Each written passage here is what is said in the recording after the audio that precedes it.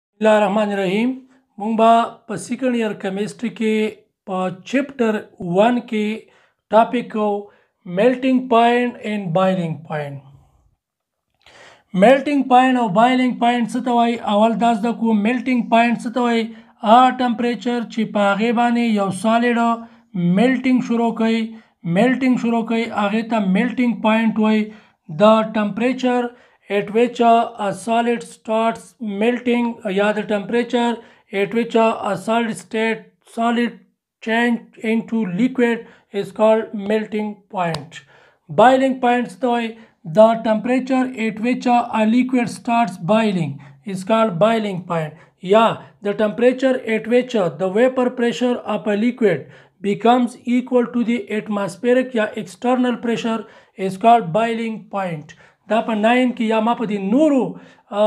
لیکچرو کې کړي پلی لیست چیک کړئ پاکې ما په تفصیل سره میلټینګ او بایلینګ پوینټ ډیفینیشن کړي دلته ضرورت شته خو لکه زه ذکر کوم چې تاسو دا بل نورو نه یاد کړئ دي چې نه زده کې ما وکړه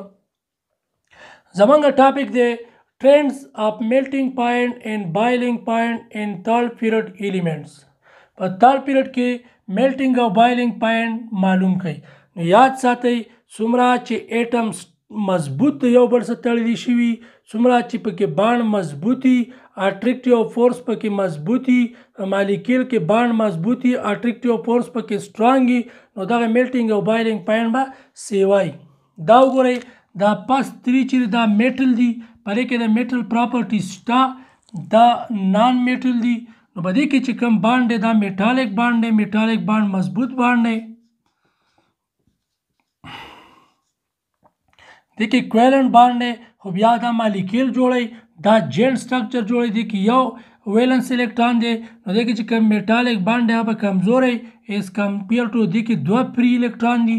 موبایل الکترون یو دی دا دوه دي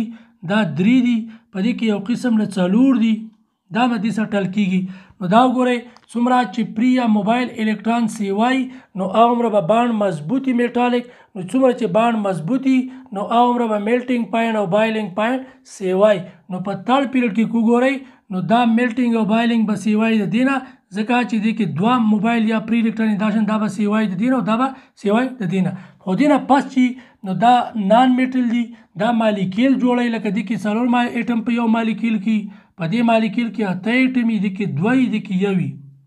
نو دا سمال مالیکیل جوړي په دې کې ویک وانډروال فورس وي ویک وانډروال فورس کمزوری فورس وي دلته دا دا باند چې دا سترانګ دی دا کمزوری دی نو دی وجنه چونکه دلته اټریکټیو فورس کمزوری دی نو دا میلټینګ او بایلینګ پوینټ به دی کمی دیس پر به سی وای دا سیلیکان چې کوم سټرکچر جوړي نو دا جینټ سټرکچر جوړي جینټ غټ او دا سمال ډیسکریټ مالیکیل دي وړوکی سټرکچر جوړي نو دې کې باسټ باند مضبوطي سټرینګ به پکې ډیری ځکه چې اټم پکې ډیری نو دا شانې یو خبره خو دا شوه دویمه څومره چې سایز ورکوټې په میټل کې نو هغومره به میلټینګ او بایلینګ پوینټ سیوای لکه دا سایز ورکوټې دی دا سایز ورکوټې دی نه دا ورکوټې دی نه دا دې ورکوټې نو تاسو ولیده چې دا